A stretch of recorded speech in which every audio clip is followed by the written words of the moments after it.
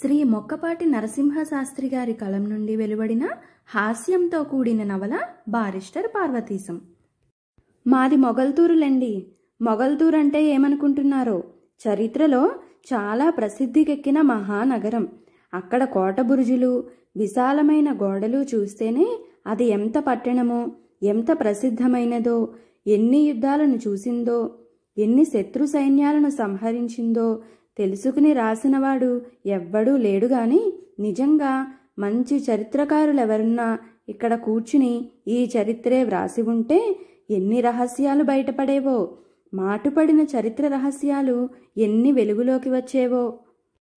ఇవన్నీ సరిగ్గా అవగాహన చేసుకుని వ్రాసి ఉంటే మన ఆంధ్రుల చరిత్ర మొగల్తూరు రాజుల పరాక్రమం వారి రాజ్యాంగ పద్ధతులు వారు చేసిన దాన ధర్మాలు ఎన్నెన్ని బయటపడేవో. మా నర్సాపురం తాలూకు అంతా ఎంత సంతోషించి ఉండేదో. నేటికి మా రాజులు అంతర్వేది వెళ్ళి రథోత్సవం నాడు రథం లాగడానికి ఆ గొలుసుల మీద చెయ్యి వేస్తే గాని ఎన్ని వేల మంది ప్రయత్నం చేసినా ఆ రథం కదలదు తెలుసునా? అలాంటి మహత్తు ఈనాటికి వారి చేతులలో ఉంది అంటే ఆనాడు వారెంతటి వారో ఊహించుకోవచ్చు. ఆ ఊళ్ళో జన్మించడం నాకు చాలా గర్వకారణం. మా ఇంటి పేరు వేమూరివారు. వేమూరివారు కూడా మొగల్తూరు పరిపాలకులతో పుట్టినవారే. ఆ రాజ్యాన్ని తీర్చిదిద్దడంలో ప్రభువులందరినీ మంచి మార్గాన నడిపించడంలో వారి చేత దాన ధర్మాలు చేయించడంలో మా వాళ్ళు చాలా సాయపడ్డారు. ఇప్పటికీ వారి మీద మాకు మా మీద వారికి ఎంతో గౌరవము అభిమానము. వారికి ఏ విషయంలో అయినా శాస్త్రంలో కానివ్వండి లౌక్యంలో కానివ్వండి ఏ సందేహం వచ్చినా తిన్నగా గుర్రం బండి వేసుకుని మా తాతగారి వద్దకు వచ్చి ఎంతో భయభక్తులతో వారి సమక్షమందు కూర్చుని వారి సందేహాలు విన్నవించుకుని నివృత్తి చేసుకుని వెళ్ళేవారని చాలామంది చెప్పగా విన్నాను. అలాగే మా నాన్నగారిని కూడా చాలా గౌరవించేవారు.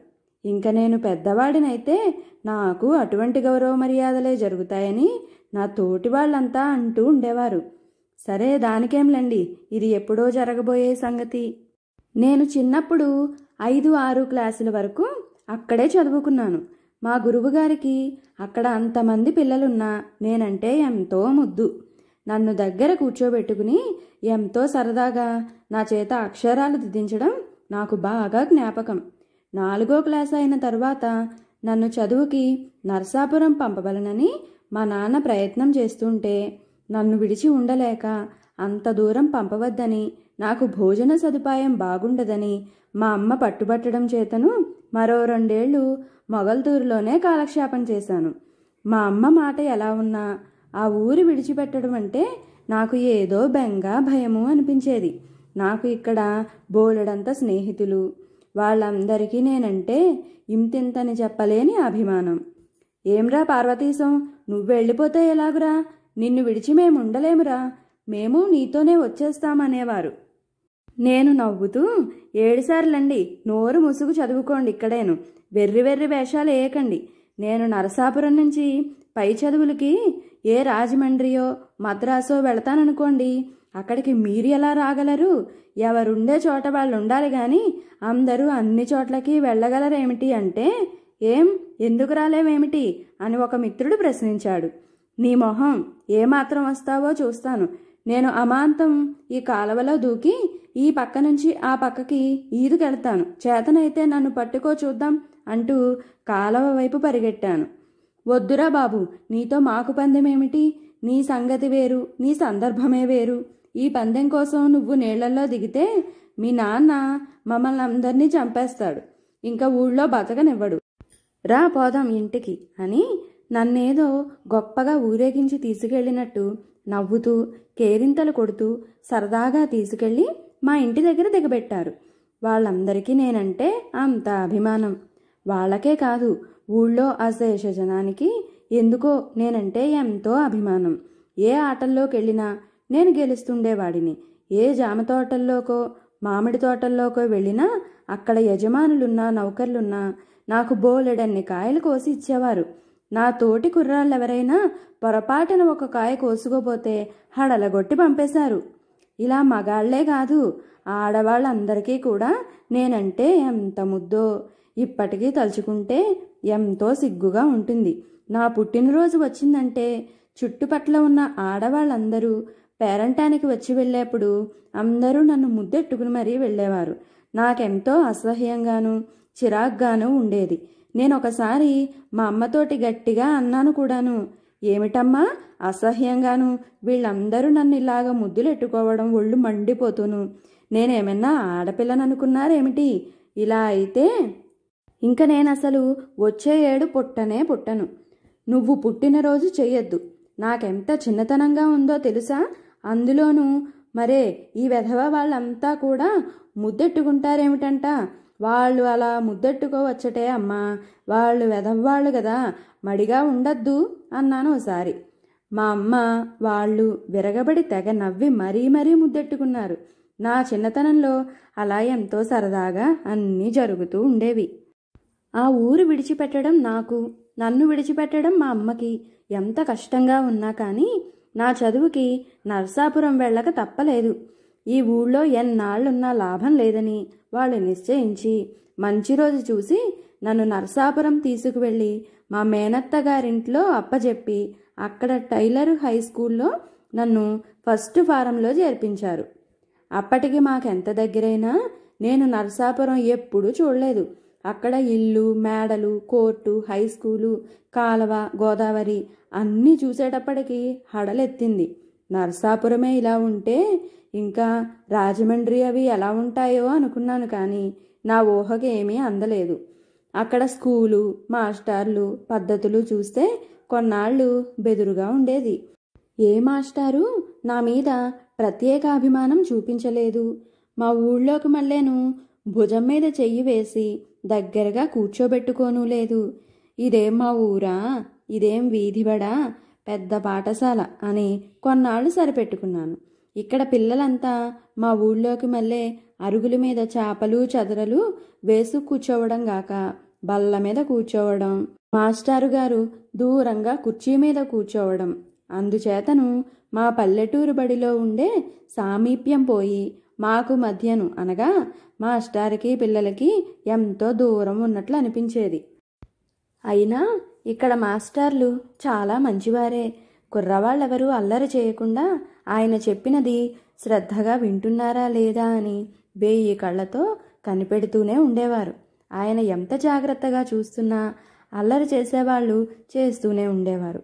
ఆ మూల ఈ మూల గణగణలాడుతూ చప్పుడు చేస్తూనే ఉండేవారు. బడి విడిచిపెట్టేటప్పటికీ గొల్లుమని ఈల వేసుకుంటూ పిల్లలందరూ బయటికి వచ్చేవారు. బయటికి రావడంతోనే ఎవళ్ళ దారిన వాళ్ళు ఇళ్ళకు పోకుండా గుంపులు గుంపులుగా కేకలేస్తూ పరుగులెడుతూ ఒకళ్ళనొకళ్ళు సరదాకి కిందకి తోసివేస్తూ అల్లరి చేసేవాళ్ళు కొందరు. మరికొందరు బంతి ఆడుకునేవారు. ఇలా రకరకాలుగా ఎంతో సరదాగా నవ్వుకుంటూ కేకలేసుకుంటూ ఆడుకుంటూ ఉంటే నాకు చాలా కులాసాగా ఉండేది. కొన్నాళ్ళు నేను ఏ ముఠాలోనూ చేరకుండా ఓ ప్రక్కగా నుంచునో అరుగు మీద కూర్చునో ఈ వేడుక చూస్తూ ఆనందించేవాడిని. కానీ అట్టే రోజులు ఆ పిల్లలంతా నన్ను కూర్చోనివ్వలేదు. నన్ను కూడా బలవంతాన్ని లాక్కొని వెళ్ళేవారు. ఒకడు బంతి పుచ్చుకుని నన్ను కొట్టేవాడు. నేను తప్పనిసరిగా ఆ బంతి మళ్ళీ వాడి మీదకి విసరవలసి వచ్చేది. అలా విసిరి పారిపోతుంటే మళ్ళీ బంతి వచ్చి నా వీపుకు తగిలేది. ఇలా తప్పనిసరిగా బంతి ఆట ఆడవలసి వచ్చేది. ఈవేళ ఈ బంతి ఆట అయితే మరొక రోజున ఉప్పటిలోకి లాక్కుపోయేవారు. ఇలా వారం రోజులు గడిచేసరికి ఎవరూ పిలవకుండానే నేను ఆటలకు తయారయ్యేవాడిని. అన్నిటిలోకి నాకు చెడుగుడి ఆట అంటే ఎక్కువ సరదాగా ఉండేది. అందుచేతను ప్రతిరోజు నేను చెడుగుడు గుంపులోనే చేరి రెండు మూడు మాసములు అయ్యేసరికి మంచి చెడుగుడి ఆటగానిగా తయారయ్యాను. గమ్మత్తు ఏమిటంటే మా ఊళ్ళోనూ అక్కడ బడిలోనూ ఎరుగని కొత్త వింత ఇక్కడ కనిపెట్టాను. సంవత్సరం అంతా అయిపోయి డిసెంబరులో సెలవులిచ్చే ముందు క్లాసు పరీక్షలతో పాటు కొంచెం ముందు వెనకలను ఈ ఆటలన్నింటిలోనూ పోటీలు జరిపేవారు. గెలుపొందిన జట్టుకి బహుమతులు ఇచ్చేవారు ఆ జట్టులో కూడా మరీ మంచి ఆటగాడికి ప్రత్యేక బహుమతి ఇచ్చేవాళ్ళు నేను చేరిన సంవత్సరం మా జట్టు గెలవడమే కాకుండా అందులో మొదటి బహుమతి నాకు వచ్చింది. ఇలా వస్తుందని నేనెన్నడూ అనుకోలేదు. ఈ బహుమతి ప్రదానానికి స్కూలు పిల్లలందరినీ పరీక్ష హాలులో కూర్చోబెట్టి సభ జరిపి మా జిల్లా కలెక్టర్ గారిని పిలిపించి వారి చేత బహుమతులు ఇప్పించారు. ఒక్కొక్కళ్ళ పేరే చదువుతుంటే ఆ కుర్రవాళ్ళు కలెక్టర్ గారి దగ్గరికి వెళ్ళడం వారిచ్చిన బహుమతి అందుకోవడం వారికి ఒక నమస్కారం చేసి వెనక్కు తిరిగి రావడం ఇది ఏర్పాటు. ఈ క్రమం అంతా రెండు రోజుల ముందుగానే మా మాస్టర్ గారు మాకు నేర్పారు. అందుచేత అక్కడ ఏమీ కంగారు పడకుండా సహజంగానే జరిగిపోయింది. ఎటొచ్చి ఆ పిల్లవాళ్ళ పేర్లు చదివినప్పుడు వాడు బహుమతి అందుకుంటున్నప్పుడు హాలంతా దద్దరిల్లేటట్లు అక్కడ చేరిన విద్యార్థులంతా చప్పట్లు కొట్టేవారు. తక్కిన వాళ్ళందరికీ ఎలా ఉండేదో కానీ నా పేరు పిలవగానే నేను లేచి వెడుతుంటే ఆ చప్పట్ల ధ్వనికి నేను ఎంతో పొంగిపోయి గాలిలో తేలిపోతున్నట్లే కలెక్టర్ గారి దగ్గరికి వెళ్ళాను. అక్కడ నేల మీద నడిచాననే నమ్మకం ఇప్పటికీ లేదు. ఆ పైన కలెక్టర్ గారు నా కేసు చూసి మందహాసం చేసి గుడ్ బాయ్ అని నా వీపు తట్టారు. దానితో సంతోషం పట్టలేక నేను పరవశున్నయి ఈ మాట మరీ గాలిలో తేలిపోతూ నేను కూర్చున్న చోటులో గభీమని చతికిలపడ్డాను. నా పక్కనున్న కుర్రవాళ్ళంతా నన్ను అక్కడే కౌగిలించుకున్నారు. కొంచెం చెప్పడానికి సిగ్గు వేస్తున్నది కానీ అయినా చెప్పక తప్పదు. ఆ సంవత్సరం ఆటల్లోనే కాకుండా చదువులో కూడా నాకు మొదటి బహుమతి వచ్చింది. ఆ సంగతి నాకు అప్పటి వరకు తెలియనే తెలియదు. ఇంకా ఆ రోజు నాకు మరీ ఆనందం కలిగించిన విషయం మరొకటి జరిగింది. ఆ సభలోకి మా ఊరి నుంచి మా నాన్న ఆ ఊరు మాస్టారు గారు ఎప్పుడొచ్చారో తెలియదు కానీ సభ ముగిసి అందరూ లేవగానే మా నాన్న మా ఊరు మాస్టారు గారు పక్క వాళ్ళనందరినీ తప్పించుకుని నా దగ్గరకు వచ్చి నన్నెత్తుకుని ముద్దాడారు. దాంతో దగ్గరున్న పిల్లలంతా చప్పట్లు కొడుతూ నవ్వుతుంటే నాకెంతో సిగ్గొచ్చి ఆనందంతో కళ్ళ నీళ్ళు కూడా వచ్చాయి. ఇలా ఎంతో సంతోషంగా రెండు మూడు సంవత్సరాలు గడిచిపోయాయి. నేను మూడవ ఫారంలో ఉండగా ఒక తమాషా జరిగింది. సంవత్సరం ఆఖరు కావస్తుండగానే స్కూళ్ళ ఇన్స్పెక్టర్ గారు మా స్కూలు పరీక్ష చేయడానికి వచ్చారు. స్కూల్ అంతా ఎంతో నిశ్శబ్దంగా ఉంది. మాకు తుమ్మడానికి దగ్గడానికి కూడా భయంగా ఉంది. మాస్టర్ గారు ఎంతో గంభీరంగా మా క్లాసులో ఇటూ అటూ తిరుగుతూ మమ్మల్ని జాగ్రత్తగా ఉండమని అడిగిన ప్రశ్నకు భయపడకుండా సమాధానం చెప్పమని మమ్మల్ని పదే పదే హెచ్చరిస్తూ ఉండగా ఇన్స్పెక్టర్ గారు నెమ్మదిగా క్లాసులోకి వచ్చారు మా మాస్టర్ గారు గబుక్కున వారి దగ్గరికి వెళ్ళి నమస్కరించి నెమ్మదిగా కుర్చీ దగ్గరకు తీసుకొచ్చి దయచేయమన్నారు. ఇన్స్పెక్టర్ గారు రావడంతోనే మా మాస్టారు గారు చెప్పినట్లు క్లాసు పిల్లలం అందరమూ లేచి వారికి నమస్కారం చేస్తూ నిలబడ్డాము. ఇన్స్పెక్టర్ గారు వారి కుర్చీ మీద కూర్చొని సిట్ డౌన్ బాయ్స్ అని మమ్మల్ని ఆజ్ఞాపించారు. మేమందరం కూర్చున్నాం వారి కేసి చూస్తూ. ఆయన బాగా పెద్దవారు ముసలివారులా కూడా కనబడ్డారు. కుర్చీ మీద బాసన పట్టా వేసుకుని కూర్చుని నెత్తి మీద తలగుడ్డ తీసి బల్ల మీద పెట్టారు.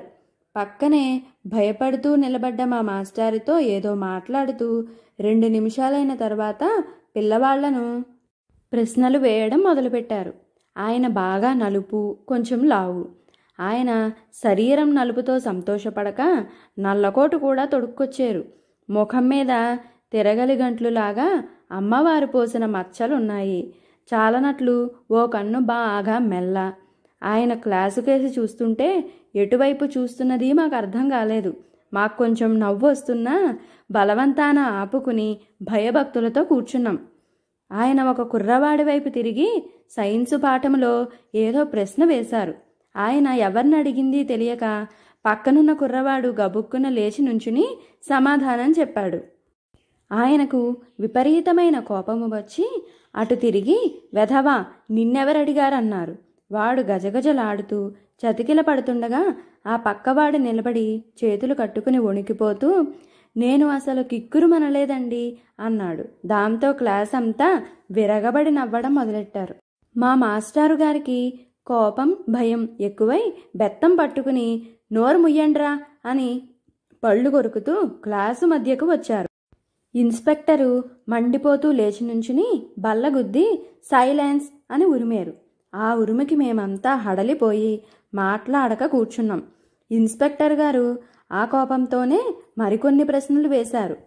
మళ్ళీ కుర్రాళ్ళు కంగారు పడకుండా వారు ప్రశ్నలు వేసిన కుర్రాడి పేరు మాస్టారు గారు పిలవడంతో పొరపాటు లేకుండా సరి అయిన వాడే సరి అయిన సమాధానము చెబుతూ వచ్చాడు. దానితో వారు కొంచెం శాంతించి ప్రసన్నులై ఇంకా ఏదో ప్రశ్నలు వేస్తూ నాకేసి తిరిగి నన్ను ఓ ప్రశ్న అడిగారు. నేను కొంచెం పరాగ్గా చూస్తూ కూర్చున్నాను. ఇంతలో మాస్టారు గారు నా పరాకు చూసి ఏం పార్వతీశం నిన్నే వారేదో అడుగుతున్నారు చెప్పమన్నారు.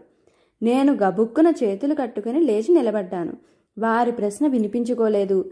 ఇంతలో ఇన్స్పెక్టర్ గారు కాంతి కిరణం పడితే పరావర్తనం చెందుతుంది. అంటే అది వెనక్కి తిరుగుతుంది అన్నారు.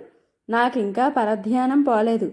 ఇందాక చెప్పడం మర్చిపోయాను. వారిది బట్టతల సన్నగా మెరిసిపోయింది. ఆ క్షణంలో మా క్లాసు పాక కప్పులో నుంచి సూర్యకిరణం వారి నెత్తిన పడి పరావర్తనమైంది కాబోలు.